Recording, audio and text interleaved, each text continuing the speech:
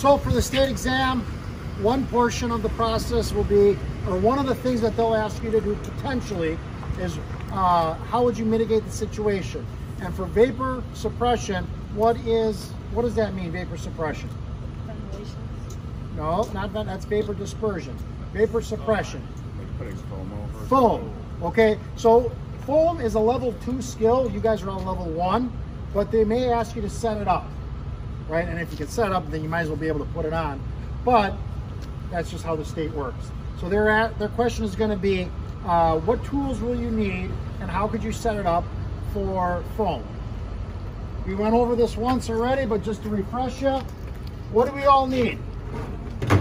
Foam concentrate, right? It comes like this, five gallon buckets, 3%, 6%, A triple F meaning uh, aqueous, film forming foam. That's right here. Then you're gonna pull out, obviously you need hose, correct? You need a way to get water, you need a continuous water supply, and you obviously need an engine to give you the water pressure at what piece of equipment? Starts with an E. What piece of equipment do we need 200 PSI at in order to get foam? E what? Ejector. Not an ejector, the eductor. Do you remember seeing this?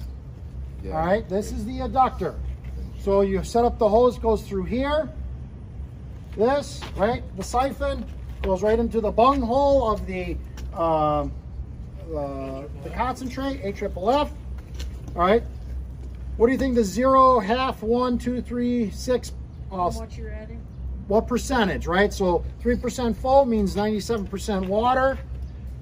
At 200 PSI at this point, you get that Venturi effect, right? That's the physics of firefighting, sucks it up, and now it continues on its way. So now you've got a foam concentrate plus water at whatever percentage, 97.3 or 94.6 or whatever we choose, okay? Then we finally get to our the end of the nozzle, right? Or the end of the hose, which we have our nozzle.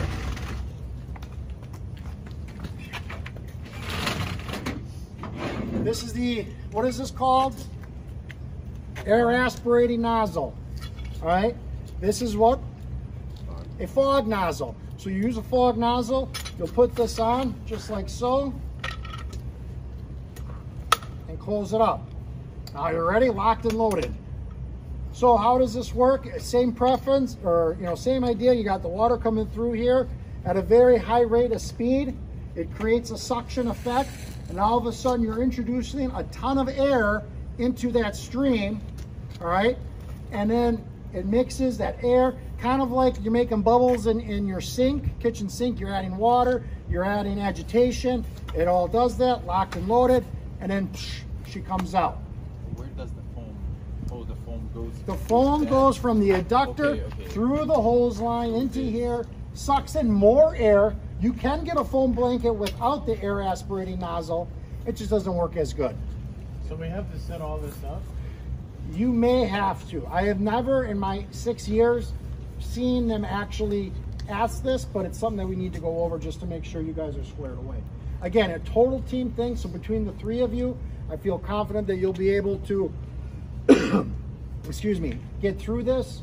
Um, but all you have to do is set it up. So, you, hey, I need a hose, I need this, air aspirating nozzle, I need a fog nozzle, I need foam concentrate, I need the eductor. That's really about it.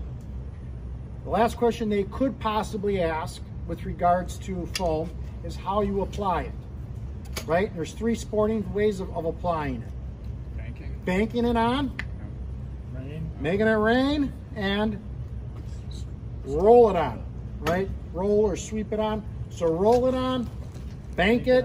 Make it rain. Rain. Fair enough? Yep. And what that foam does, again, it cools and it suppresses the, uh, the vapors from coming up and it creates a blanket to suffocate it from the top. Okay, so the injector, you put that into the hose?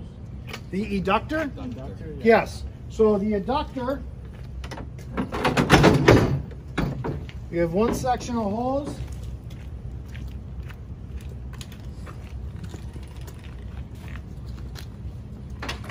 Right? It goes here, and then the other section goes there, and this goes right in the bung hole. So that the, the end section goes into the fog nozzle. Correct. So from here, and there's our arrow right on there.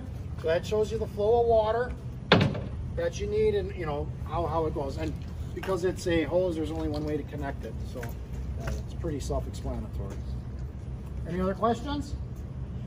No? Excellent. All right. Uh, just put that hose back where it was and then we'll meet you back out there for more instruction on the other techniques.